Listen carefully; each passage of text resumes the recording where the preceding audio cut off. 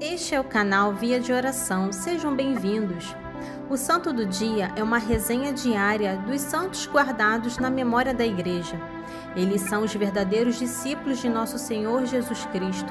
As vidas desses homens e mulheres são a doutrina e os ensinamentos da Santa Igreja. 9 de janeiro, Santo André Corsini. O lobo se transformou em cordeiro e mais tarde em pastor. Eis meu servo, em ti serei glorificada. Estas palavras da Virgem Maria ao jovem sacerdote André Corsini constituem o melhor resumo de sua santa vida. André nasceu em 30 de novembro de 1302, dentro de uma família muito conhecida em Florença, a família Corsini. Seus pais, Nicolau e Peregrina, não podiam ter filhos, mas não desistiram. Estavam sempre rezando nesta intenção, até que veio esta graça e tiveram um tão sonhado filho, André. Os pais fizeram de tudo para bem formá-lo. Com apenas 15 anos, ele dava tanto trabalho e tantas decepções para seus pais que sua mãe chegou a desabafar: Filho, você é de fato aquele lobo que eu sonhava. Ele ficou assustado, não imaginava quantos caminhos errados e a vida de pecado que ele estava levando, ainda tão cedo, decepcionavam tanto e feriam a sua mãe. Mas a mãe completou o sonho. Este lobo entrava numa igreja e se transformava em cordeiro. André guardou aquilo no coração. E sem a mãe saber, no outro dia ele entrou numa igreja dos carmelitas. Aos pés de uma imagem de Nossa Senhora, ele orava e a graça aconteceu. Ele retomou seus valores, começou uma caminhada de conversão e falou para o provincial carmelita que queria entrar para a vida religiosa. Foi admitido a vestir o hábito em 1318. Fez o noviciado, resistiu corajosamente às solicitações de um tio que sonhava em vê-lo regressar ao mundo. Pronunciou seus votos em 6 de janeiro de 1321. A partir desse momento, redobrou o fervor de suas virtudes, especialmente da humildade. Santo André ia se colocando a serviço dos doentes, dos pobres, nos trabalhos tão simples como os da cozinha.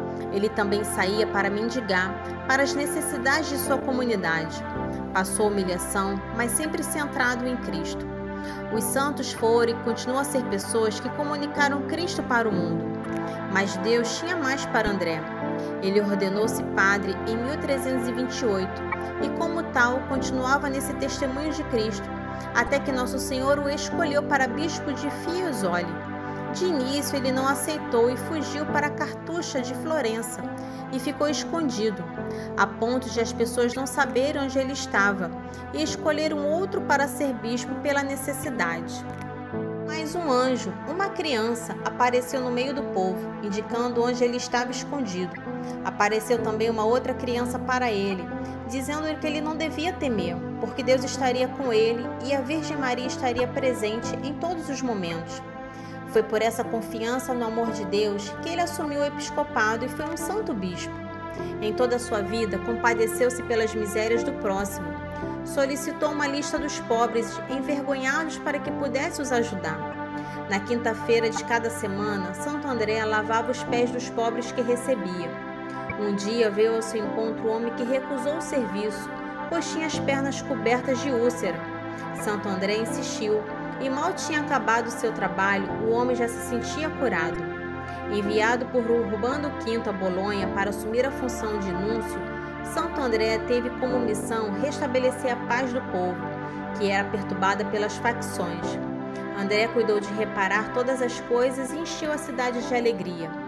No dia de Natal, Nossa Senhora apareceu para ele dizendo do seu falecimento que estava próximo. Faleceu em 6 de janeiro de 1373 no dia da Epifania do Senhor. Seu corpo foi transportado por uma esplêndida capela na Igreja dos Carmelitas, em Florença. Seu processo de canonização teve início no tempo de Eugênio IV e terminou em 1629 com Urbano VIII. Que possamos pedir a intercessão do santo. Amém.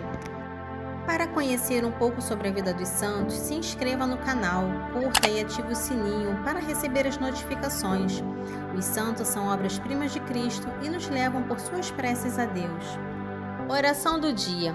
Ó gloriosíssima Virgem Maria, aqui tens a teus pés o lombo feroz e repleto de culpas que a ti recorre humildemente. já que és a mãe do Cordeiro sem mancha, cujo sangue nos lavou e remiu.